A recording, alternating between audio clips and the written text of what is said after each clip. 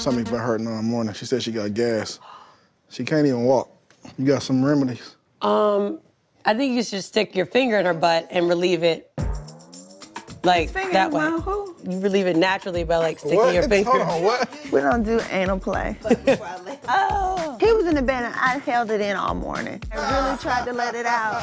Yo, I can't wait till you be on the show long Look. enough to where you embarrass yourself the way I do. Did I say something about some Well, fart honey, I'm down with the farts, honey. I do it all the time. No. I fart around my husband all the time, like loud farts. My farts is louder than his. Shut up!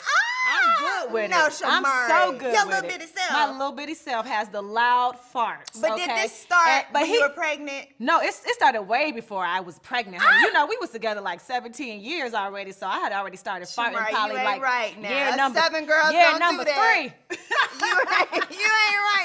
Put some of that Decatur on them. I only do it because I can't help it. I it's PJ's fault, okay? Like I literally can't. Like if I've already gotten up out of bed like 10 times, do you really want me to get all the way up, walk all the way to the bathroom just to pass a little gas? Right. I always tell him, I say, baby, it's not me, it's PJ. Yes, blame it on PJ, then Put you on get a pass. Yeah, put it on PJ, child. He got to just deal with it. I mean, I'm pregnant. I mean, my aunt told him, my aunt said, listen, Dennis, you have to give Porsha some passes, you know, Right. because this isn't her norm. Like, you know, normally I would never do that. I stopped him from doing it around me. But sometimes you can't control it. It just seeps out anyway. You know I mean, but if it's no baby, I can hold it. But I, I, I'm telling you, I don't like that. Like he was doing that when we first first got together, and I just, you know, I just got up the guts and I said, listen, please don't do that anymore. like I don't like that. Wait, he farted? He passed gas around me when we first got together, and I was like, babe, I don't, I let's not. I won't do it around you. You don't do it around me. But now that I'm pregnant, I mean, what can I say? Because I do it. Right. You should always think of me as like flowers and sunshine, not like you know, booty sweat. So. But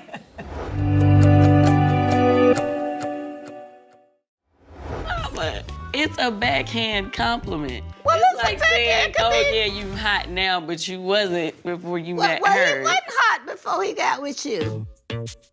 when my mother and I were talking and they were filming us, she was like, well, he wasn't making the money that he's making now.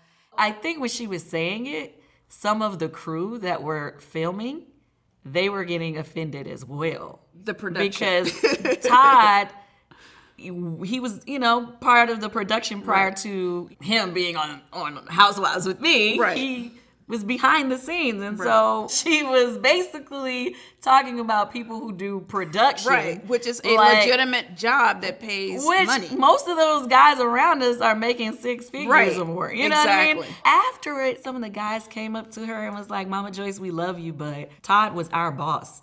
They just kind of like were speaking up for him to say like it wasn't like he was just some guy when she actually had to sit with Todd face to face and and Todd said his his piece you know she couldn't do anything but respect it I love you and I am so proud of you.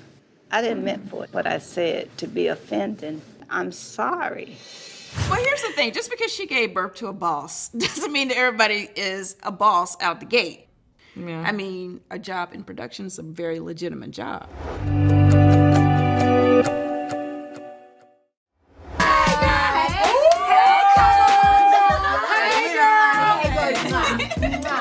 It was supposed to be Nene and I, and it became Nene and Friends. ooh Yes, Marlo.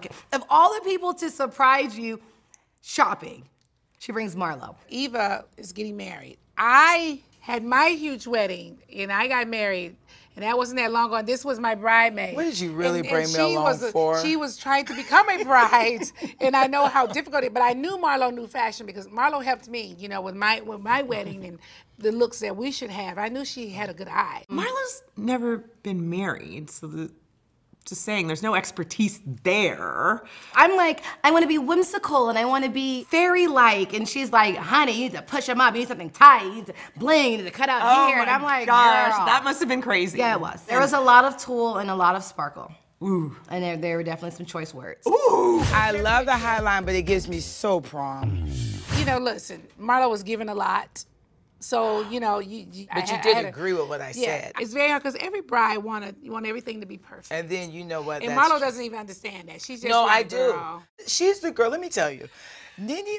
She loves girls. She's a girl's girl. She wants everyone to come around and be happy. And if she like Eva comes around and she's being nice to Eva, like, oh, I don't want to hurt her feelings. I'm like, why the hell you not calling her out? She's fucking lying.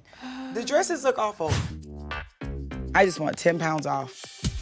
Bitch, you need to f***ing stop both bitch, are heavy. with your big ass And we booty and both ginormous big. ass hips, bitch eating cake, sandwiches, ice cream late at night, going to the gas station Oh for potato chips, lollipops.